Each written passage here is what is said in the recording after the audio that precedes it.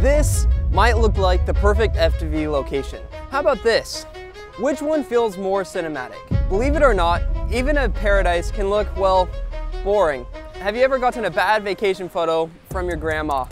Well, you can tell location isn't everything. Before you even think about locations, you need to think about your piloting skills. Are you truly mastering the art of flying?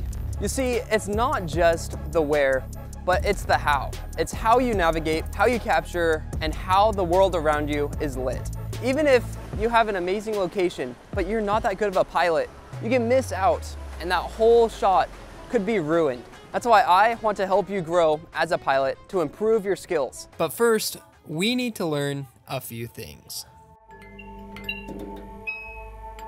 Lighting can transform your scene, give depth, and even create moods. It can be the difference between an average shot and a cinematic masterpiece.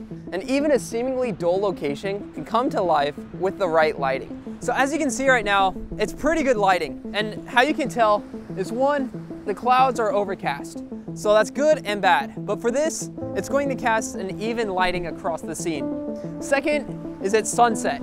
You really want either sunset or sunrise or golden hour because these are going to be the best for your footage. When you're just starting out, you might just think, oh, I can fly through that hole right over there. But a better way to look at it is to go through and fly in between rocks. Up here, you can't see it, but there's rocks over here to fly in between and then through the hole down there.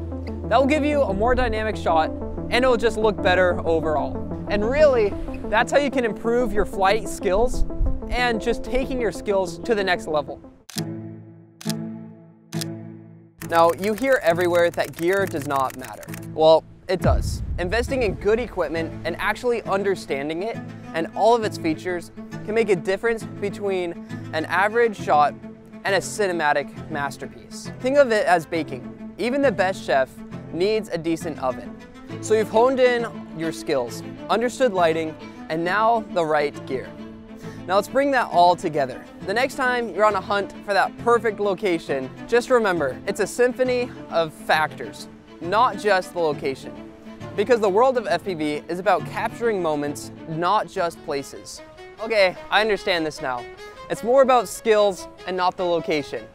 And you just have to master lighting, camera work, and you just have to have pretty good skills. You know, I wonder what would happen if you did this for 100 days? Huh, it's a pretty good idea. Might have to try that out.